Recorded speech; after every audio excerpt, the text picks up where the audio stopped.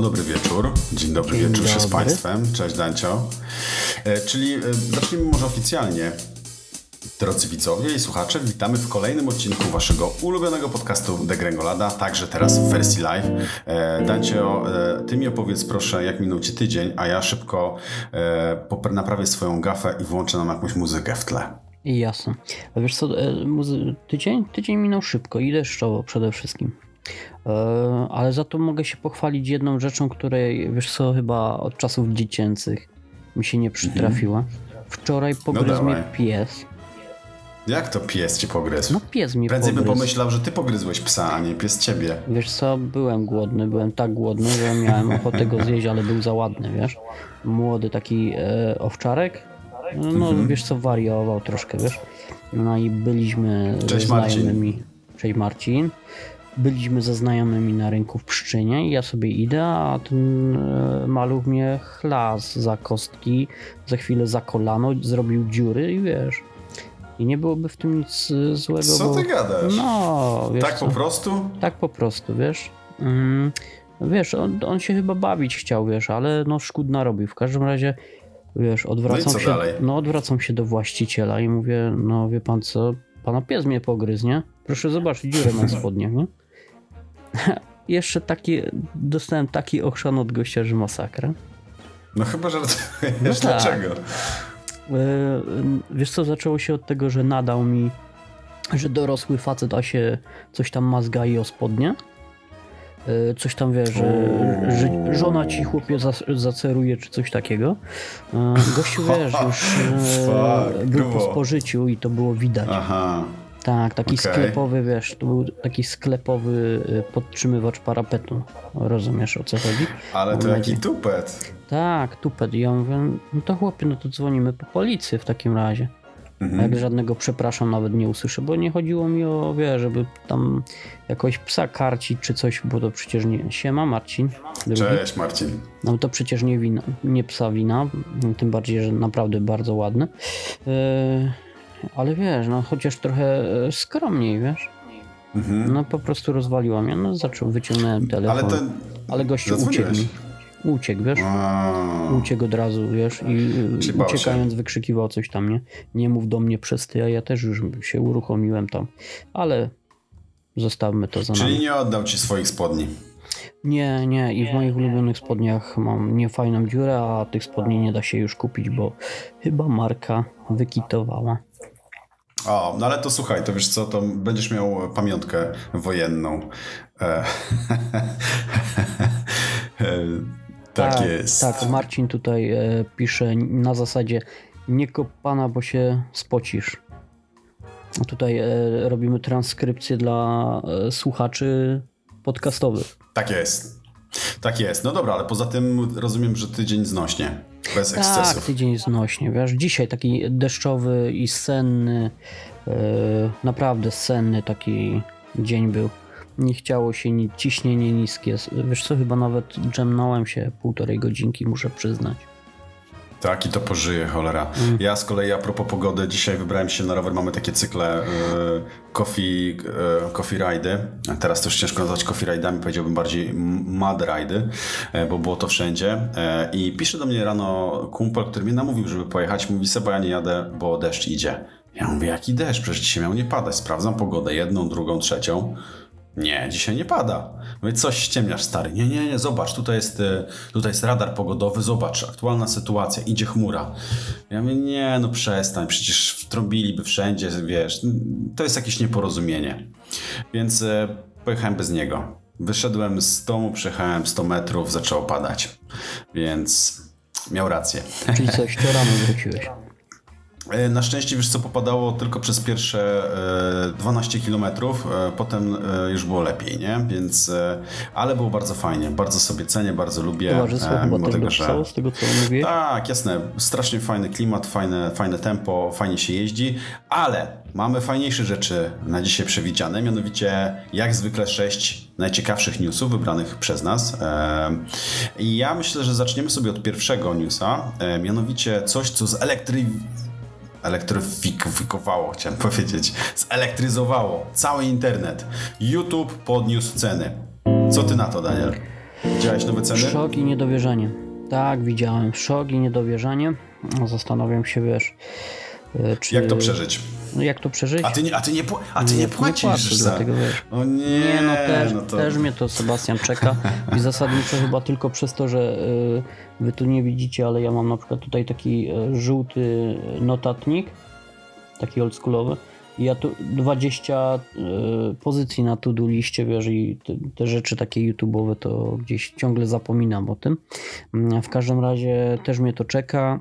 Ja się tylko zastanawiam, czy w sukurs y, za YouTube'em nie pójdą inni usługodawcy. Nie, na pewno. Na, na pewno tak może być. E, natomiast e, e, zabawne jest to, że te ceny są tam symbolicznie podniesione za jednostkowe konta, bo złotówkę, dwa złote dla studentów, ale okazuje się, że abonament dla rodziny wzrósł już bardzo znacząco, bo tam jest kilkanaście złotych w skali miesiąca. Zdaje się teraz 47, coś koło 47. Natomiast podrożało bardzo znacząco i wyraźnie. Zabawne jest to, że ktoś napisał w komentarzu na Daily Webie, że i dlatego właśnie nie zakładam rodziny, bo się nie opłaca. No. no i coś w tym brzmi, jest, nie? Brzmi legitnie? Warto nie być wolnym elektronem. Tak, nie zakładam rodziny, bo YouTube jest drogi. No więc w każdym razie oczywiście to nie zmienia wiele, bo prawda jest taka, że jesteśmy niewolnikami na usługach Google'a, e, obojętnie z których korzystamy. Zresztą e, Apple, ktoś z Apple powiedział ostatnio, nie wiem czy słyszałeś, głośny skandal z tego był, chyba w ubiegłym tygodniu albo dwa tygodnie temu, że Smartfony od, a, od Google to są jedne wielkie urządzenia śledzące.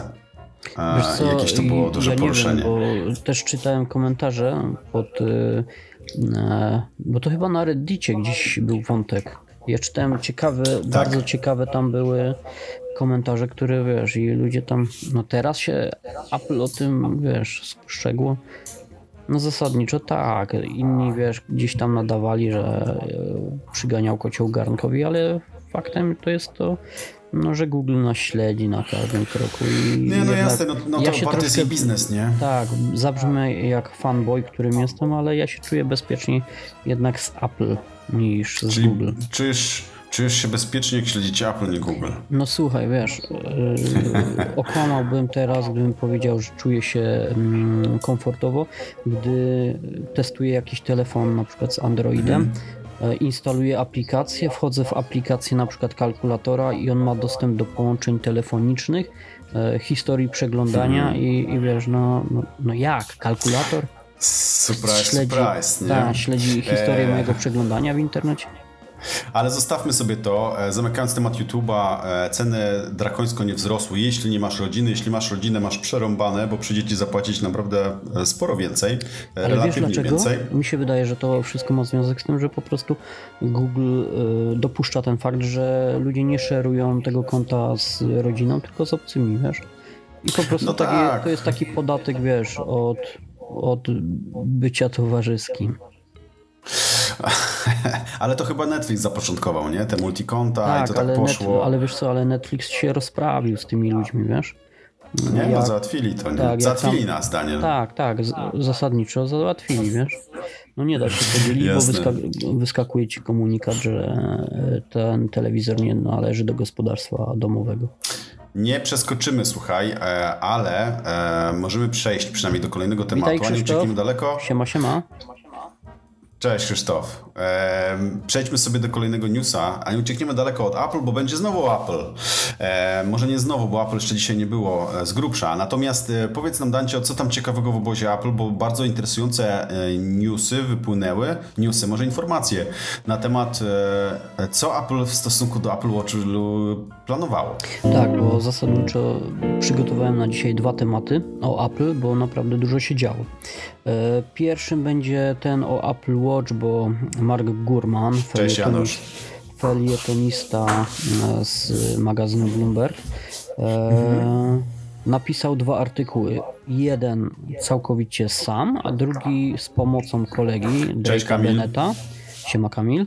Mm, I tutaj obydwa w sumie to tworzą taką fajną całość. One są niestety ukryte za paywallem, ale to są takie artykuły, za które naprawdę warto zapłacić i, i dla których można wykupić sobie tą subskrypcję, bo one są naprawdę tłuste w fakty, w ciekawostki, w rzeczy, których nie przeczytacie nigdzie indziej.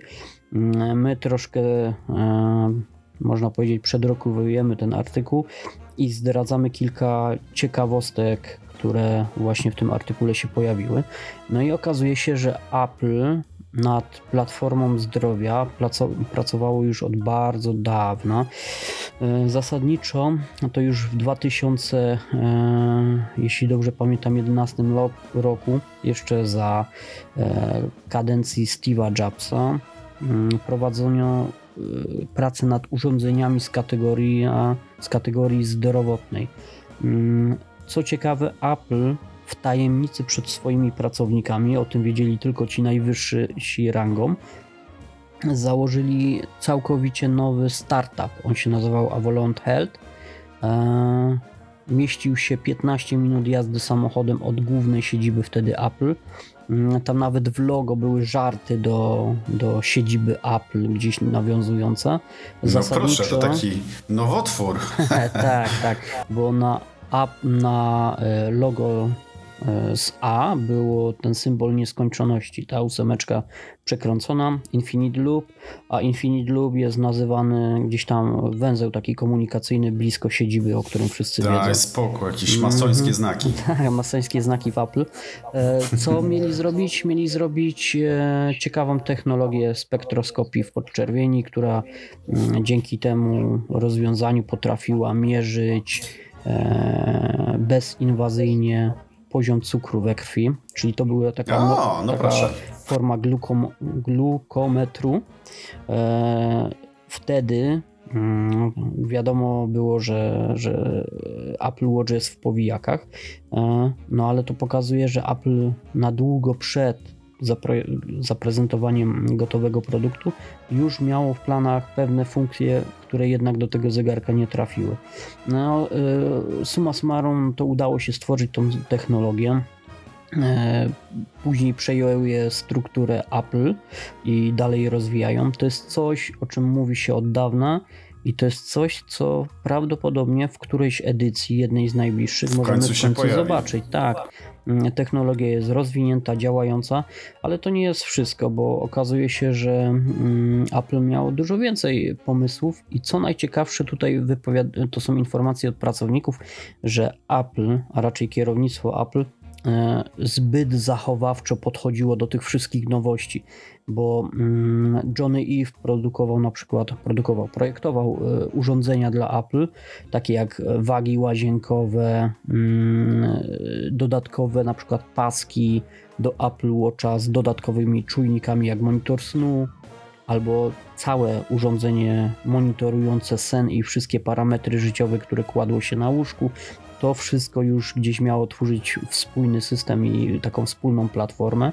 No Apple nie wprowadziło tego, jak wiemy, na rynek, bo tak jak mówię, prawdopodobnie było zbyt zachowawcze. Chodzi tu o to, że gdyby wypuścili ten, te produkty na rynku, na rynek, a na przykład klienci źle by je odebrali lub one nie spełniałyby e, żądań klientów i nie, sprosta, nie sprostałyby ich wymaganiom, no to nadszarpnięta byłaby mm, tutaj e, imię dobre, Rep reputacja. reputacja. Tak, tak, tak, tak. No i tutaj wychodzi na to, że po prostu Apple bało się tych innowacji. E, co ciekawe, no to te artykuły kończą się też taką konkluzją, bo wiemy, co zobaczymy w przyszłości. Przy... Mhm. Prawdopodobnie w przyszłym roku zobaczymy urządzenie Apple Watch, które będzie miało czujnik wykrywający bezdech senny oraz e, nadciśnienia. To jest coś niesamowitego. Cuda. Bo ta... Ja myślę, że to jest za mało, żeby, żeby tutaj zainteresować naszych widzów, bo Krzysztof nas tutaj prowokuje, że musimy jakiś real sheet wrzucić. Więc może ja zapytam przewrotnie, e, co byście zobaczyli w takim zegarku? Może na przykład wagę? to, to by było coś naprawdę niesamowitego. Wiesz co, ja, powiedzia- ja znowu, znowu coś wymyśliłem, ale to nie nadaje się na Wiesz, nawet o tej godzinie do podawania. Nawet o tej godzinie, no tak. No rozumiem. Domyślam się, jaki to może być kaliber, tak, pamiętam. No. E, słuchajcie, bez... pytanie do naszych widzów. Czym może być marka Satisfyer bez zaglądania do Google'a? Czekamy na wasze głosy. No Janusz jest, jest, Janusz jest, jest, jest blisko, tak. Janusz jest blisko, tak. I Natomiast e, jeśli chodzi o tą... transkrypcję znowu. Janusz powiedział Zdecydowanie. potencjał. tak, ja może wyświetlę. Natomiast wspomniałeś jeszcze, wracając na chwilę do Apple, o tym, że e, bali się kontekstu e, wizerunkowego. E, nie wiem, czy wiesz, ale w dużych brandach, dużych korpo, dużych firmach jest coś takiego, bo akurat pracuję w ryzyku operacyjnym, w którym oceniasz ryzyko nie tylko finansowe, jakichś przedsięwzięć, akcji, ale także właśnie te wizerunkowe. I ono jest na równi ważne jak z ryzykiem finansowym. No bo wyobraź sobie, że na przykład, nie wiem, przy Apple to może nie ma aż takiego znaczenia, ale przy instytucji finansowej, która traci wizerunek, tak, traci zaufanie, nie? traci mhm. klientów i koniec, nie? Pozamiatane. O matko, tutaj widzę, że sprowokowałem tak. Deep Real Shit Talk. Marcin Osowski wygrał konkurs. Marcin, wygrałeś To właśnie o to chodziło, Satisfiera.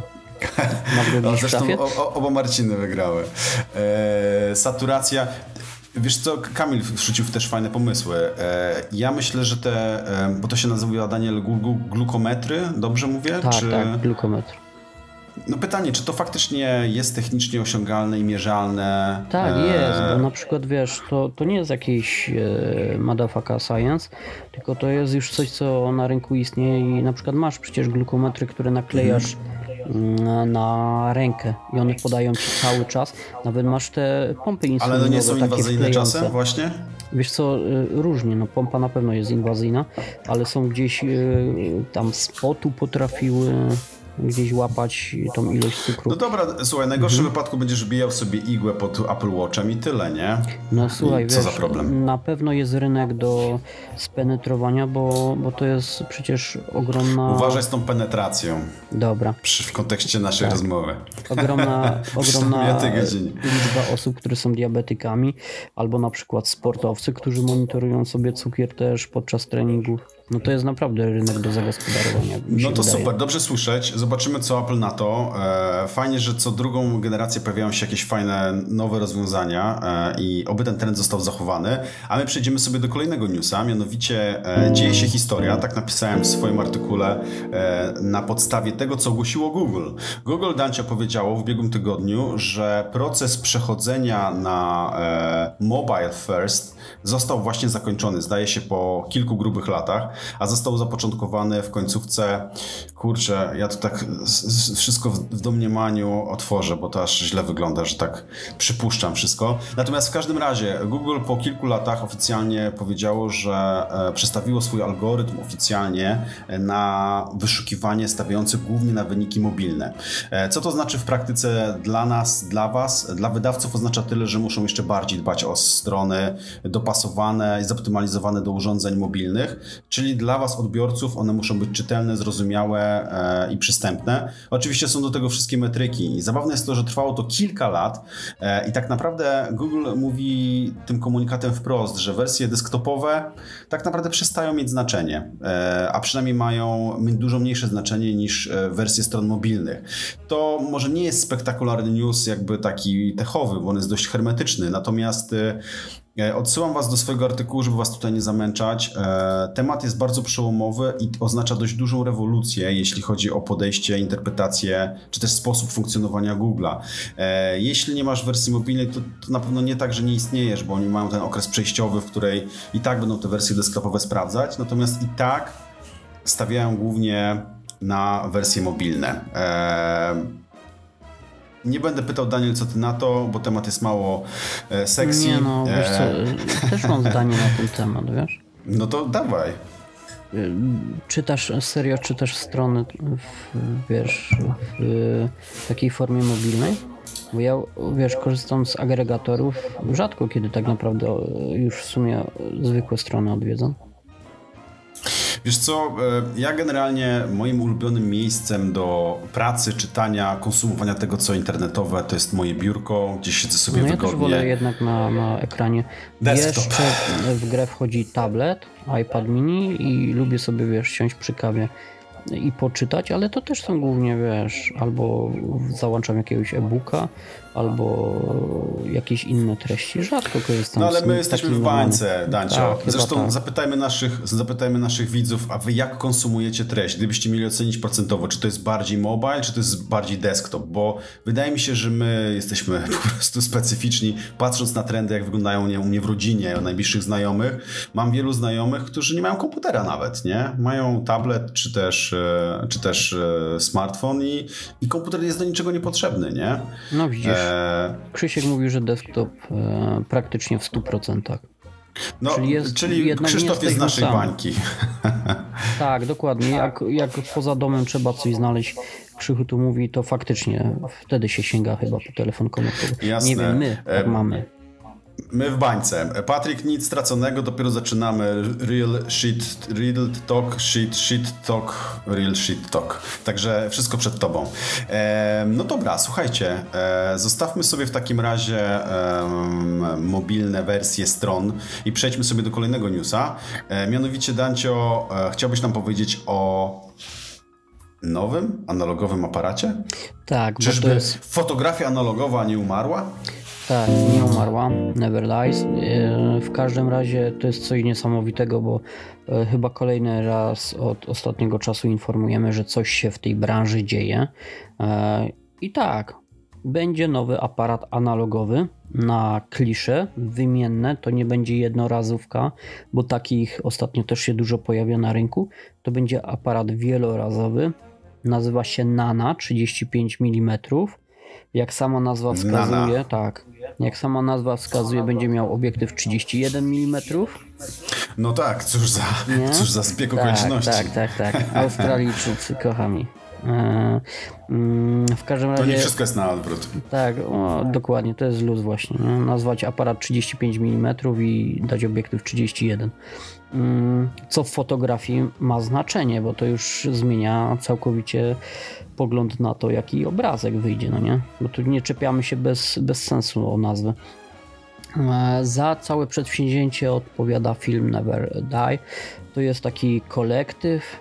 Nie wiem, czy to dobre określenie kolektyw. Szaleńcy. Szaleńcy na pewno. Jak zwykle, jak Australijczycy. Kochamy firmy z Australii, bo są niesamowite, tak jak NOG na przykład. Mm, rowerowy.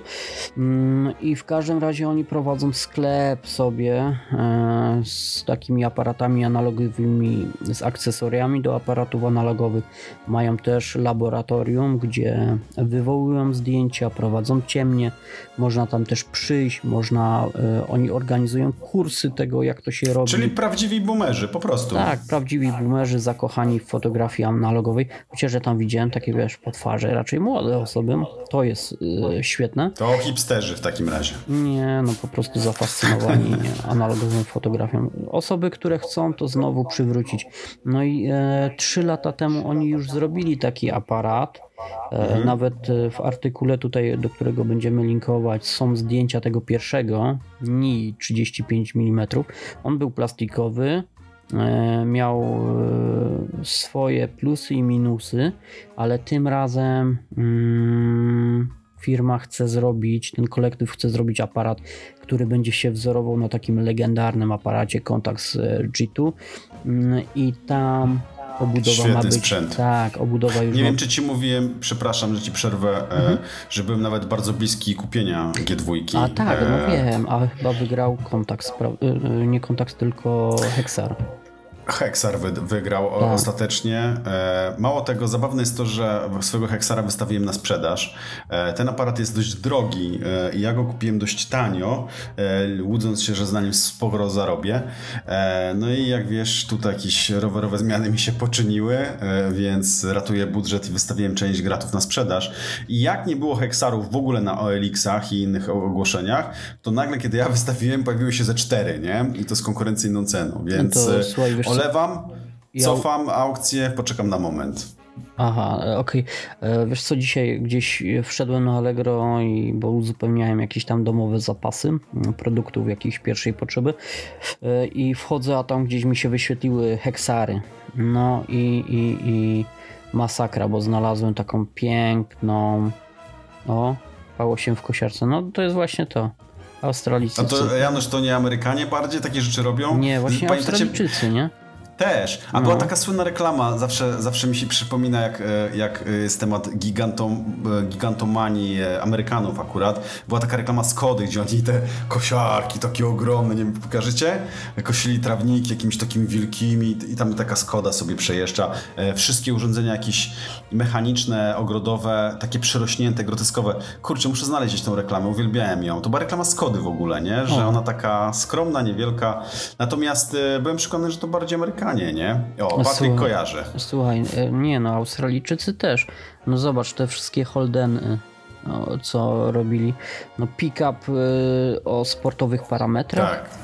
Wiesz, taki, żeby barana wrzucić na pakę i, i tam wiesz, jak jedziesz do weterynarza z Można? Można. A oni robią zawieszenie gdzieś sportowe, wiesz, 500 kucy i wiesz, i, i możesz y, przejechać się razem z tym baranem, wiesz, z prędkością 250 na godzinę, nie? Będąc baranem przy okazji chyba. E, nie no, oni mają długie takie prędkości. E, Bardziej bym się no tak, martwił tak, mają, o mają sporo paliw, no nie? Tam co 200 czy 500 kilometrów. Ja to zawsze myśląc o, o, Australijczykach, jak przy nich jesteśmy, zawsze sobie myślałem o nich na zasadzie, jak oglądałem dużo kanału Discovery, e, że tam żyć to, to, to jest taka codzienna walka o życie, nie? Z każdego kąta może wyjść pająk, który cię zabije, w ogródku może zjeść wąż albo ukąsić. Kurczę, no co, co to jest za życie, nie? No, a, a do baru na piwo masz e, kilkaset kilometrów, nie? otóż to. Wiesz co, to. ja w byłej pracy, ja pamiętam jak opowiadał nam e, szkoleniowiec i pracowałem na kolei i jest taka mm, taka funkcja rewidenta taboru i on chodzi i sprawdza wagony, czy tam czasem tory nie były złe, czy to wagon nie był zły. E, o, tak Wiadomo, że, że tory były złe. No i e, wiesz co, i on sobie tak, to u nas w Polsce po prostu idzie na nóżkach, no nie?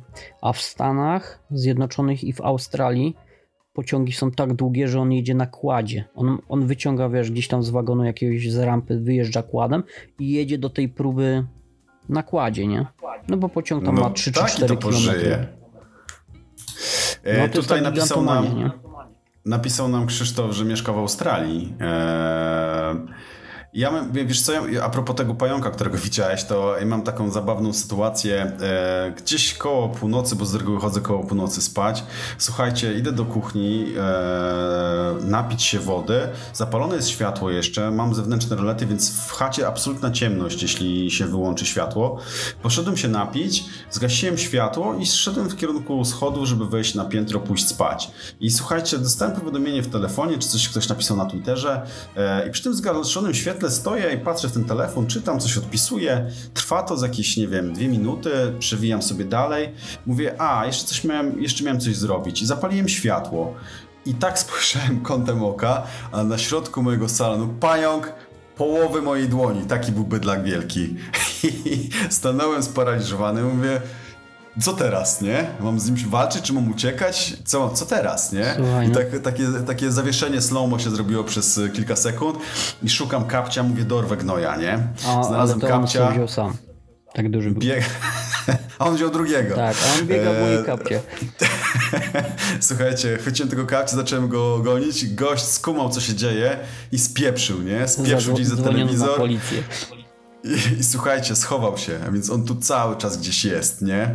Nie wiem, e, muszę, muszę zrobić ten sam scenariusz chyba jeszcze raz i go dopaść, ale przeraża mnie perspektywa, że pewnie jest tam i gdzieś, e, gdzieś jeszcze rośnie, nie? E, będzie, będzie ciekawie, coś mi się wydaje. No, e, słuchaj, wiesz co, ja mam kota i ja nie mam pająków już. A, to jest no tak. Kot to jest terminator, nie ma, nie ma komarów, nie ma pająków, nie ma żadnych owadów w domu, wiesz? A tylko słyszę, wiesz, podnietkę kota i, i, nagle, wiesz, jak coś się rzuca po, po meblach, wiesz, a już nie, jak zdążę przyjść tam, to już nie ma w ogóle śladu. Koty to są prawdziwe predatory. Ale zostawmy to, słuchajcie, bo znowu tak, dobrze nam o. się gada, e, a musimy przejść dalej. E, zostanie nam chyba trochę czasu, więc trochę sobie potrolujemy.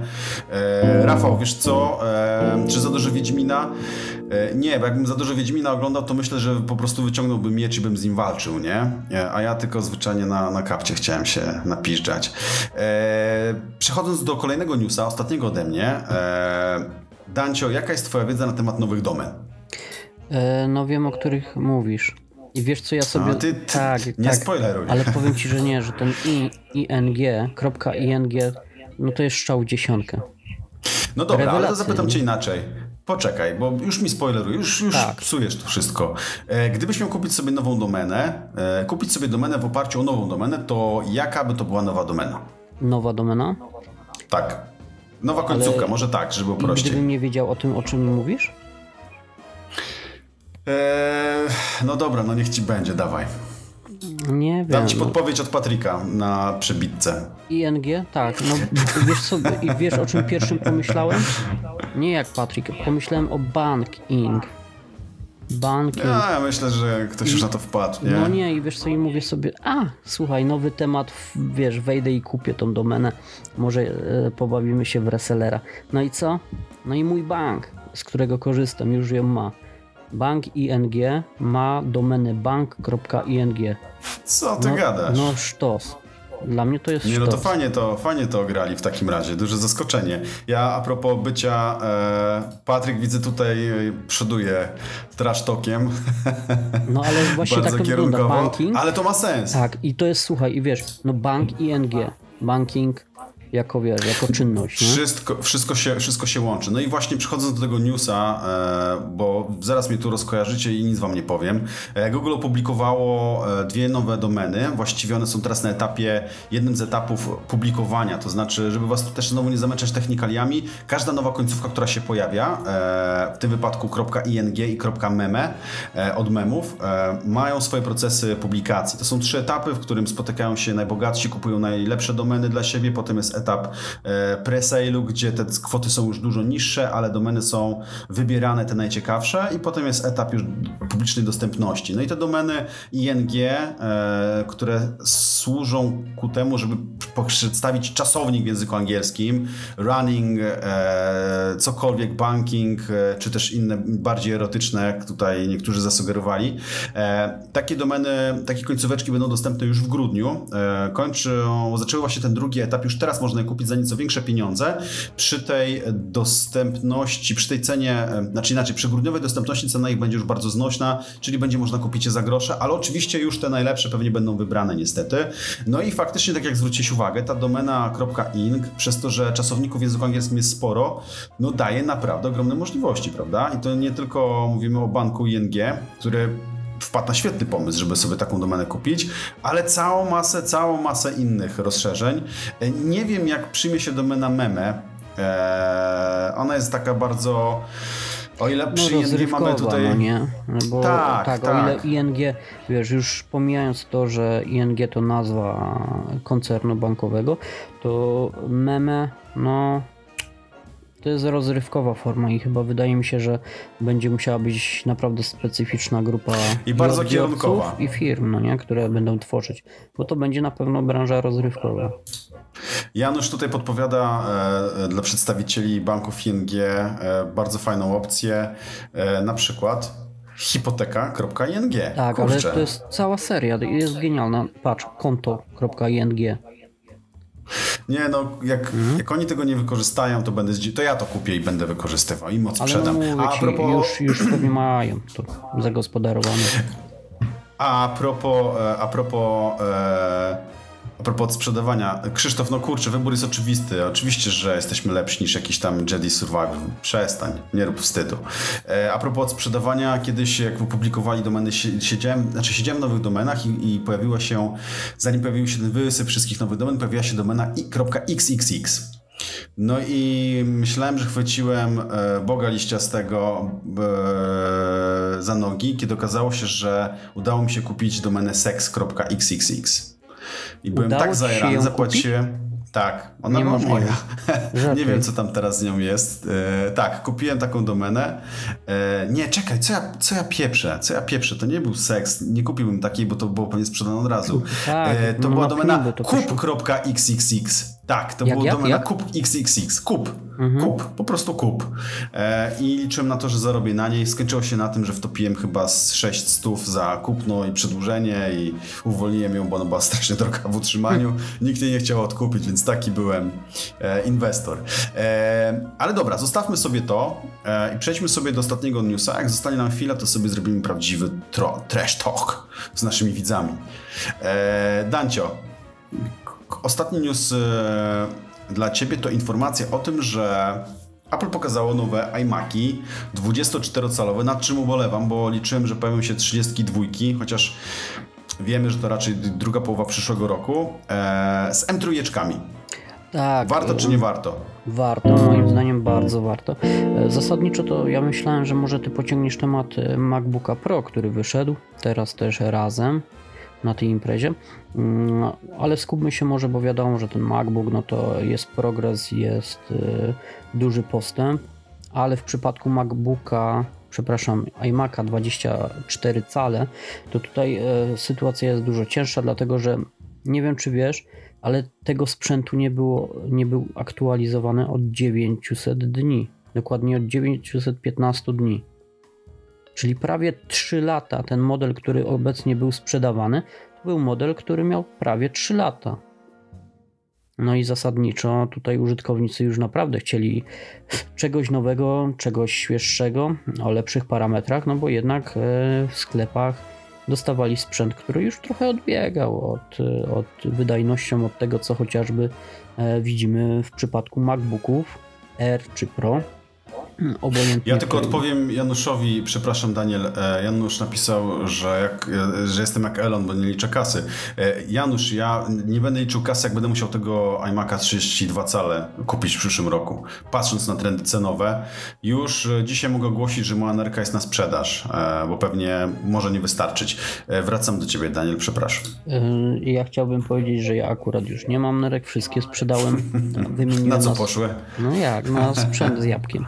E, w każdym razie e, iMac nowy, no jak wiadomo, jest pod każdym lepszym względem. Mm. Pod każdym względem lepszy. E, I tutaj A jak bez... kolorek? Kole... Jaki kolorek? Wiesz co, srebrny... Jak, jak kolorek? Czarny, czarny by ci podszedł? Wiesz co, czarny by mi podszedł, ale czarny wiesz, że zarezerwowany będzie dla modelu Pro pewnie. Chyba, że mówisz o MacBooku. No wiesz co, wolę ten, ten taki antracytowy, jak on to się nazywa? E, Space Gray? Nie. Space Gray, tak? Nie, Midnight Gray, Space Gray. No ten, który mam, wiesz, bo czarny jednak jakoś tak bardzo, wiesz, e, no mnie rzucał w ziemię, tym bardziej, że mm. wiesz, że 90% laptopów na rynku jest czarnych, no mi się to no po tak, prostu to znudziło, wiesz.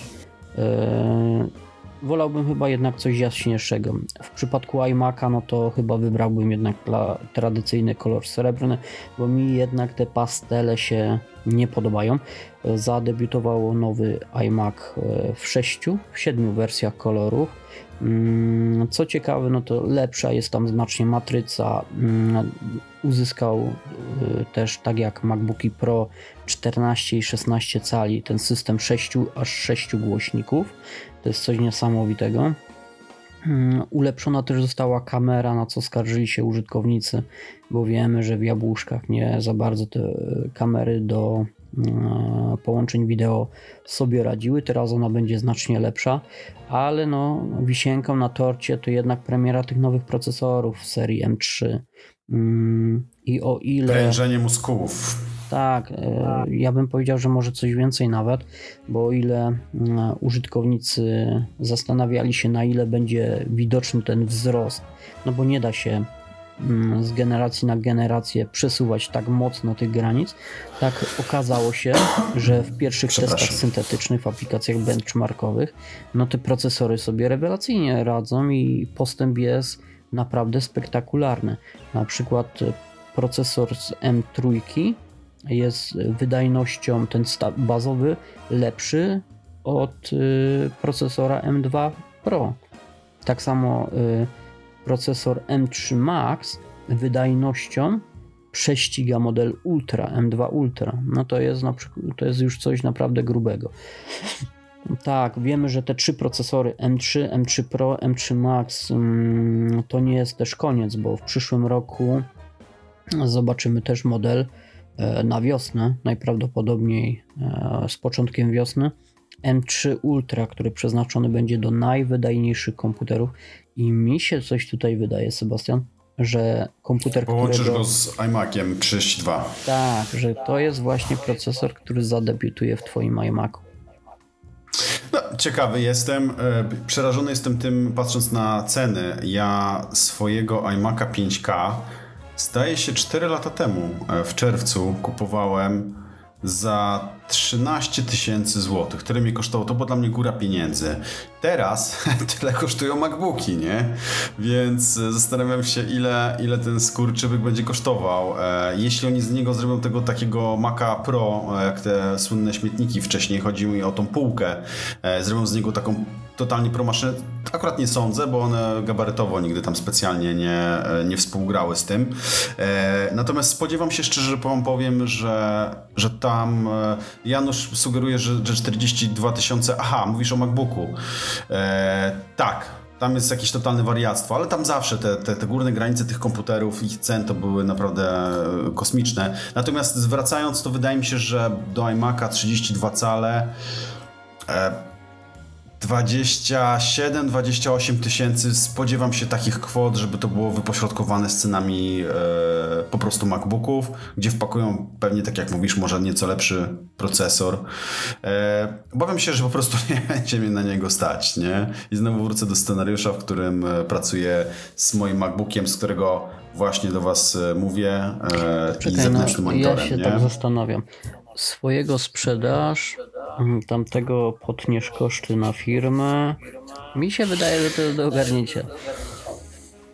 Ja gdzieś słyszałem, że ci na dział jednoosobowej działalności to są złodzieje, nie? I oszuści. A, to chyba e, tak. Widziałeś? Tak, widziałem to na e, Twitterze. Gdzieś pojawił się taki tweet.